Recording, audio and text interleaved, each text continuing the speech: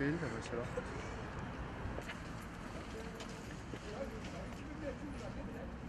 İşte başkanlar şunu sunuyorlar. Ha bu şey, e, Tanıtım numune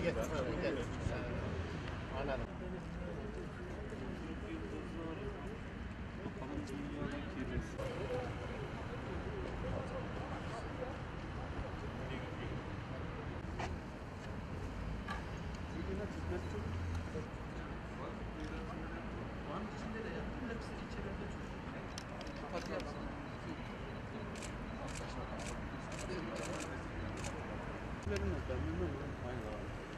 Ha diyecek ki güzel bir mesele.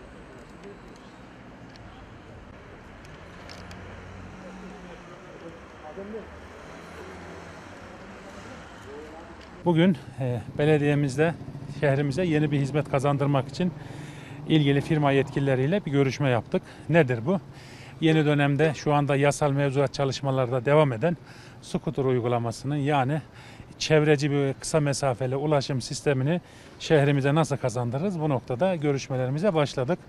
E, malumunuz yeni dönemde özellikle gençlerin çok sıklıkla kullandığı ve sıklıkla tercih ettiği skuter uygulamasının kısa mesafede çevreci, e, akülü, şarj edilebilir aletlerle birlikte kısa mesafede ulaşımı sağlamak adına önümüzdeki dönemde ihtiyaç olarak görülen bu uygulama şu anda bununla ilgili yasal düzenleme Meclis Çevre Komisyonu'nda kabul edildi. Genel kurula gelip yasalaşacak.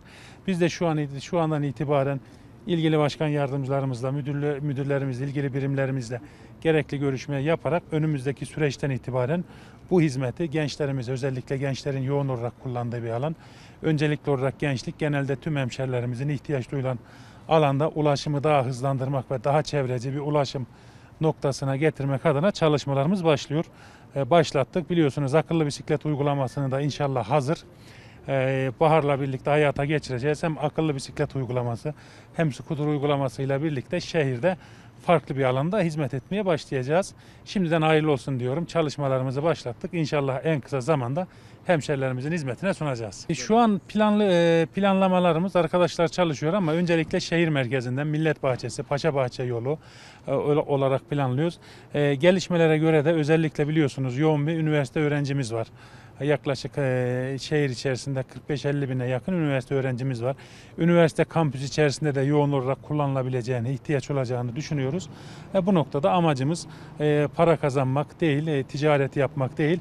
Hem gençlerin hem de e, özellikle gençlere genelde de tüm hemşerilerimize hizmet edecek çevreci bir ulaşım sistemini şehrimize kazandırmak olacak. Gaza basmanız Hocam,